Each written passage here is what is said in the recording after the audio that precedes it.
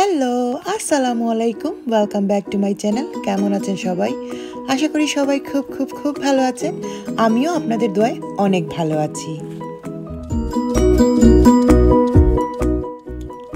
আর এটা হচ্ছে কি শনিবার দুপুরবেলা। আমার দুপুরবেলা থেকে আমার ব্লগটা স্টার্ট করেছি। তো সবাই সাথেই থাকুন।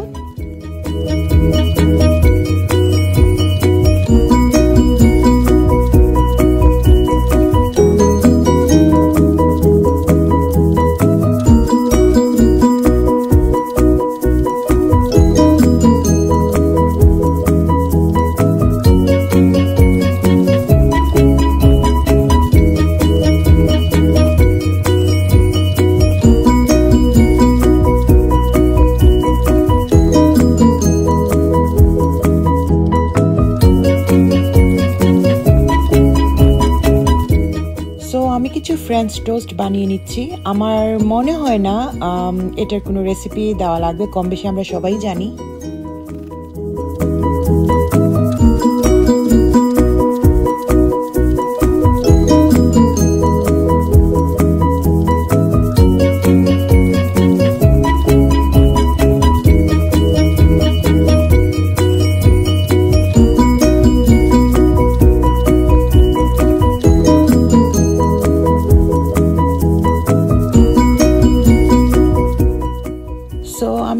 পাতলা শুটকি শিরা রান্না করছি।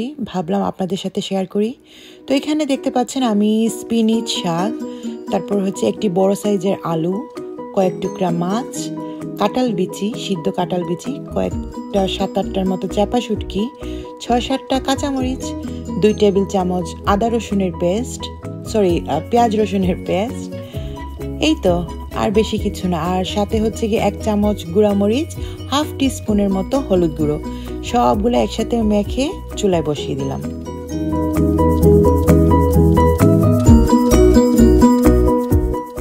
সো আমি এটাকে পনেরো মিনিটের জন্য কুকে রেখে দিব। তো দশ মিনিট পর আমি এই পর্যায়ে আমি লবণটা এড করে নিয়েছি।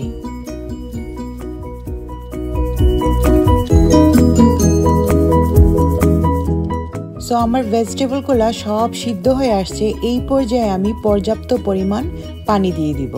যেহেতু এটার নামই হচ্ছে গিয়ে পাতলা শুটকি শিরা সো গ্রেভিটা হচ্ছে গিয়ে একদমই পাতলা হবে। তো পানি দেওয়ার পর আমি আরও দশ মিনিট এটাকে রান্না করে নিব। তো চলুন ফিরে আসি দশ মিনিট পর। সো তৈরি হয়ে গেল আমাদের সিলেটের একটি অতি জনপ্রিয় খাবার পাতলা শুটকি শিরা।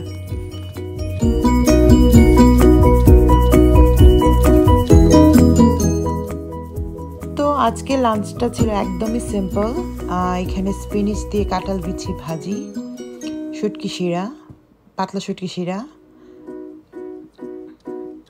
সিদ্ধ চাল মানে সিদ্ধ ভাত গরু মাংসের ঝোল, আর আছে লাল শাক ভাজি, এই তো।